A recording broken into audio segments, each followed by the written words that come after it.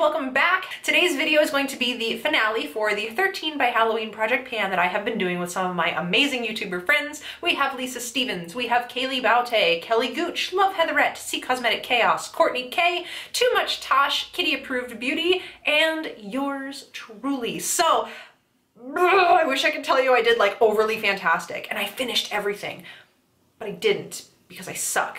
But I did get some really, really good progress and a lot of things I did actually hit goal on and I cannot wait to show you. So if you guys are new and have come over from any of those girls' channels, welcome. I hope you decide to stick around. And if you are new to my channel in general, welcome. Thanks for hanging out. Love you. You should stay. You should you should. So let's just dive right in because I have some candy to go eat. I'm like obsessed with this lip color today, but I'm so obsessed with making sure it's not on my freaking teeth. I don't wear reds very often because I'm paranoid about it getting on my teeth, but so far so good. We're gonna stick with it. Okay, so the first product that I had was a body spray Bath & Body Works. This is the Coconut Mango Fragrance Mist. When we started the project, it was way up here, and my goal originally was to get to the bottom of the label, which is right here, but to be honest with you, the fact that I was able to use this much of a scent I'm not really a huge fan of in general. In the fall, when it's a summer scent, I'm proud of it. So we ended up getting down to right there, which I still consider a win. I will probably continue to use this up. I'll throw it in the bathroom or something and use it as a poo spray.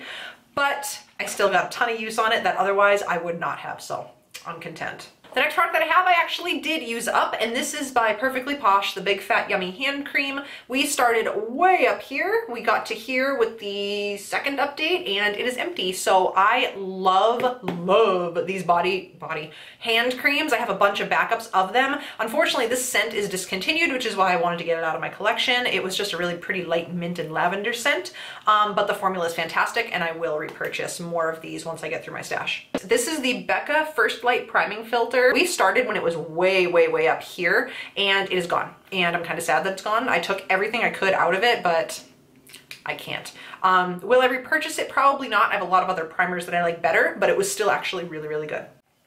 Okay, another product that I did use completely up, I don't have the packaging for it because I did throw it into my empties and already filmed my empties video. I know, huge bad on my part, bad YouTuber.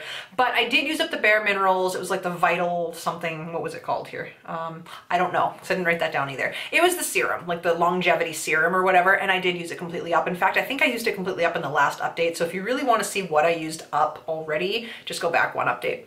Um, the other thing that I did use completely up that I also do not have with me was the uh, Urban Decay Priming Spray. It was in a little green bottle. That was also completely used up. But let's move on to some things that I do have. Um, the next thing that I had was the Verb Ghost Oil.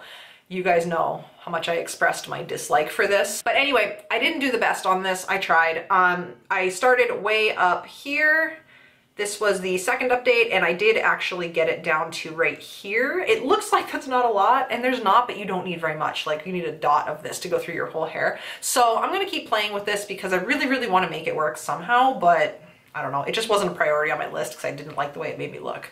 This one I actually used up thanks to my daughter. Um, this was the Chia Hair Smoothing Oil by Trisola, another one that I just do not like. This is a very silicone-based primer, whereas the Verb Ghost Oil is a moringa, so it's an actual oil that'll absorb in your hair. This is silicone, it just sits on top of it. So at the beginning of the project, it was up here, then it came down to here, and then now it is completely empty. So there is that guy. I totally just noticed that in every single one of my 13 by Halloween videos, I had different hair. Uh, I just noticed that each time it's like a completely different person. I'm sorry, you guys, but I thought it was funny. Let's talk about an eyeliner. This is the Ciate Wonder Wand in the shade just black or whatever. My goal on this was to hit the E in the word Ciate. E would have been like right here. So we did actually go pretty good. I actually think that I did a really good job because I don't tend to wear pencil liner. I have super, super sensitive water lines. Um, anything in my waterline will make this particular eye, this particular spot on my eye water incessantly. It will destroy all of my makeup.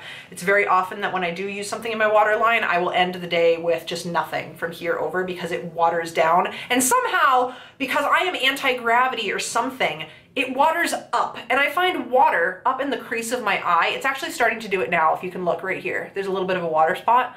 That's, I don't know how it does it. My eye will water and it'll follow my crease up and end up on the top of my eye. I don't know. I don't know. You let me know. Does it happen to you? If it does, what is wrong with us? Either way, long story short for saying that I successfully used 90% of this eyeliner. Another eyeliner that I did use up, I don't have the packaging for it, but I do have a second one of it. This is not the liner I used in this project. This is another eyeliner. That's the same to show you what it looks like. I did use up a full one of these. This was the ColourPop gel liner in the shade Get Paid. It's a really pretty coppery, like rose gold. I'll just swatch it because it's easier. Um, it's like a really pretty rose gold liner. This is one of the few liners that I can use in my waterline and it doesn't irritate it, but you can see the color right there. It's very pretty. Okay, this. This is the Rimmel Kate Moss lipstick in the shade number 41. This has survived three project pans, almost a full year of constant use. So I got like a little bit of use, but you guys, if you had any idea how often I use this stupid thing, I don't even want to talk about it. It's driving me crazy. I, I'm gonna declutter this, you guys, and I hate to do that because I really want the satisfaction of using up a lip product. It just, by the time I get this gone, I'm gonna be so sick of it. Plus the color isn't even really my color. I don't wear pink. When do you guys see me wear pink on the lips? Ever, I don't. So this is the shade right here. It's just too bright for me. I know as it doesn't show up, you're like, that's not bright girl, but it is in person. Um, it's actually a very cool tone, brighter pink, and I prefer more of a mauve cool tone lip. I'm just gonna get rid of it. I, I can't look at it anymore. It drives me absolutely crazy. So that was a fail on my part. I tried, but it was literally the unending lipstick. Let's talk success, because I have the three biggest products in this project, I think, with a success. So I'm really happy to end on a happy note because otherwise I would get super stressed out and hate myself. Um, let's talk about a highlighter. So this was the NYX Illuminator in the shade Ritualistic. And I had said that originally I had wanted to use up half of the pan, but I realized very early on that that was just absolutely unattainable no matter how much I wore it. So I decided that I wanted to get to side pan, which I am so freaking happy to announce has happened. I am thrilled. And not only that, but I've actually worn away the majority of this pan all the way around here. It's very, very thin, almost pan as it is. If you guys hear a train, I apologize. I have to work through it. I gotta get this done. So anyway, I included a swatch for you right here of this highlighter. It's so pretty, you guys. This is one of the few highlighters that I have that does not like accent any texture or pores. It's not what I'm wearing on my face today. It's similar, but it's not. Um, it's just a really beautiful, beautiful golden highlighter, and I like it a lot. But this got goal. The other highlighter that I had in here, I know, two highlighters in one project, and I actually hit goal on both. I think that's a win. I think that that trumps everything that I couldn't finish off. This is by Long Lancome, and this is the dual finish highlighter in the shade Sparkling Pesh. I really love this highlighter. I love this range of highlighter, and it was the same situation as with the NYX one. I just wanted to hit side pan, and once again, ah, Did. But if you look really close, do you see just how thin this highlighter is? Like it is paper, paper thin. In fact, I could probably just like touch it and move the pan over. Yeah, see? It's so thin. Look at that though. Oh, it's so pretty. Um, yeah, this whole entire pan is like paper, paper thin because I've used it so much. And there it is right there in the center. So it's definitely a little more bright and bold than the NYX one, um, but it's got a really beautiful peachy hue to it. It is stunning. Um, I do have multiples of these. I have backups of the, the almost said flavors. I have backups of the colors that I like. This is one of my favorite, favorite formulas of highlighter ever highly recommend checking them out, but I did end up succeeding, so I'm super, super happy about that. And last but not least, let's talk about the palette. So I did have a shade in here called Banana Date that I wanted to hit pan on. I did hit pan on it in the last update. Pretty good, actually, a good pan.